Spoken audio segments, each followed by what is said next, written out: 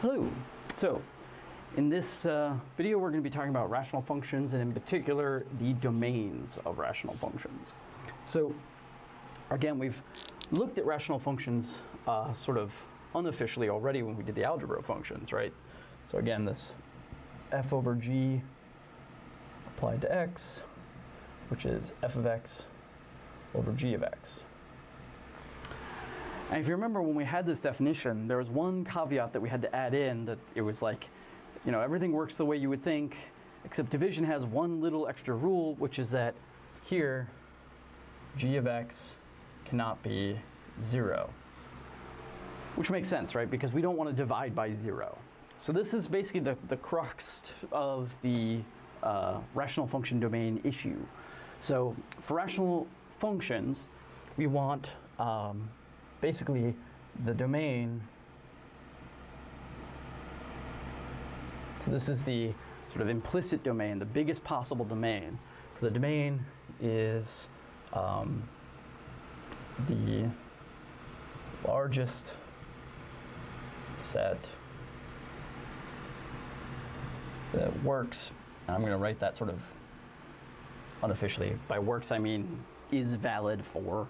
So works for f of x, g of x, and uh, such that g of x is not equal to zero. So I'm going to do a couple examples here, because um, again, this is one of those things that's much easier to just sort of see rather than uh, sort of talk about. So let's say we have the function uh, so let's look at r of x. And let's do something like x squared plus 5x minus 6 over uh, x squared plus 5x plus 6. Okay? The question is, uh, what is the domain, the sort of largest domain we can use here? So on the one hand, I need to make sure that my domain is valid for the F and G, the top and bottom independently. So I need to make sure that the top is okay and the bottom is okay. But the top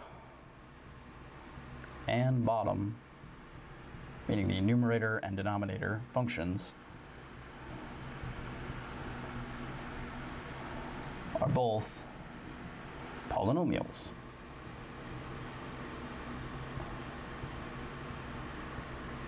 So since they're both polynomials, their domains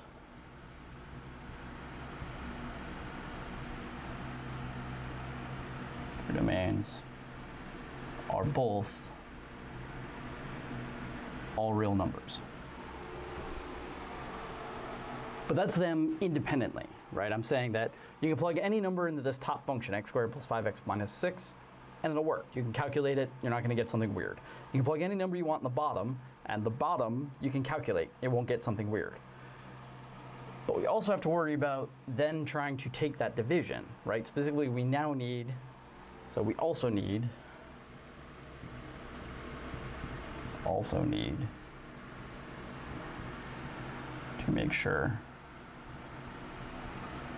that the bottom function, x squared plus 5x plus 6, does not equal 0. So the sort of best way to tackle this then is to factor this thing. Um, so because really, right, I'm, I'm, asking, what I want to know is when is this um, polynomial equal to zero so I can avoid those values. But I find out where it's equal to zero by doing factoring, right? This is, again, polynomials. So I can factor this thing. Uh, we've done factoring a bunch already, so I'm just going to sort of skip ahead here. Uh, I encourage you, as usual, to actually do it out, make sure you're okay with it. Um, so you're going to get x minus 1 times x plus 6 in the top, and then x plus 2, x plus 3 in the bottom.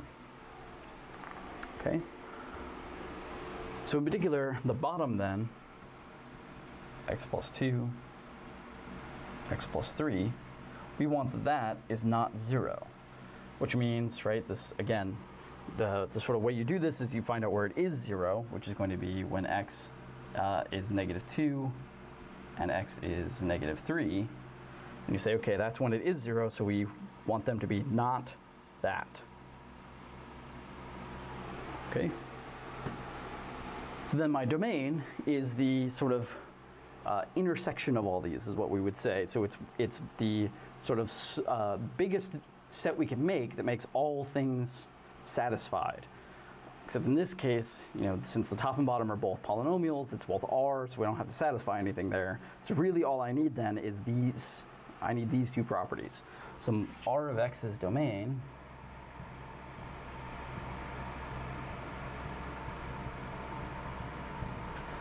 is simply x not equal to negative 2 and x not equal to negative 3.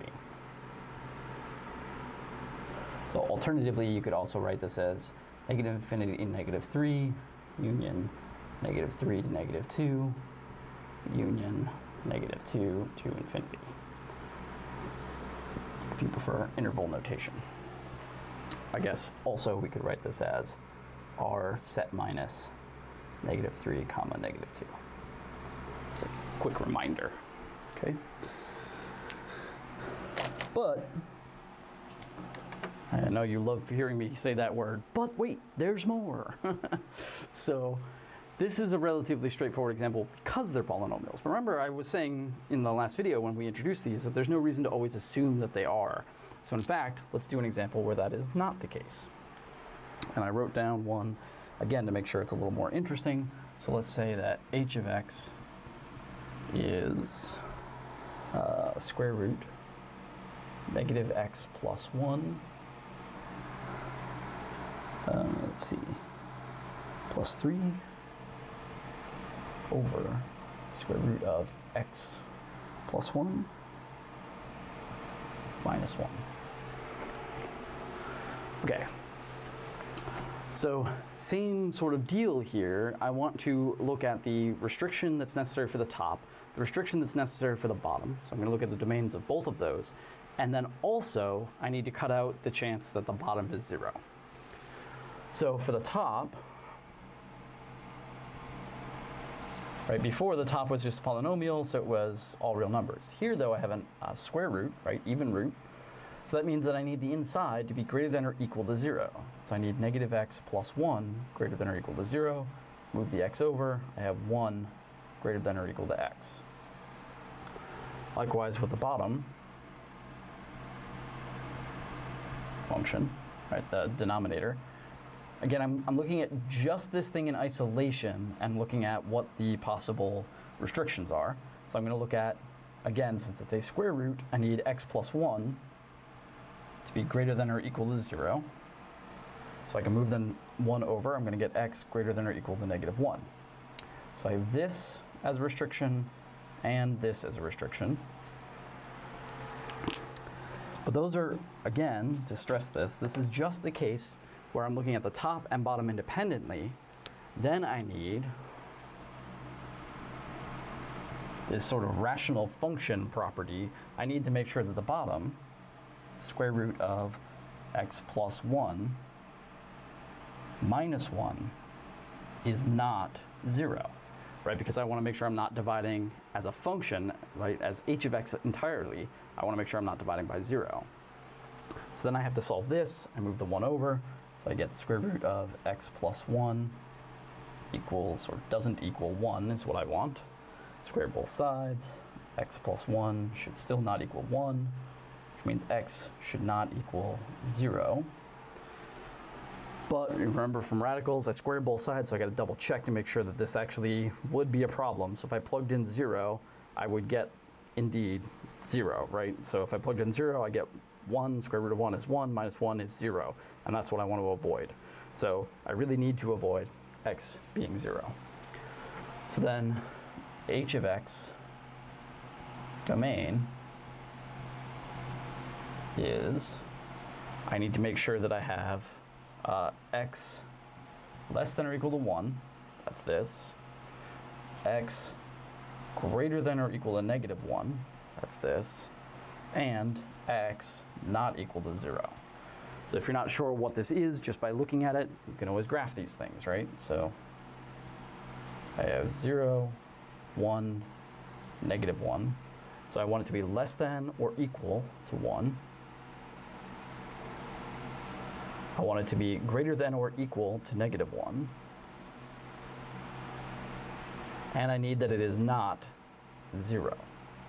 And then I look at where they overlap, right? So not 0 means it can be anything else, right? So it overlaps everywhere except 0 between negative 1 and 1. So I have negative 1 to 1, not counting 0. So I write that as 0 union 0 to positive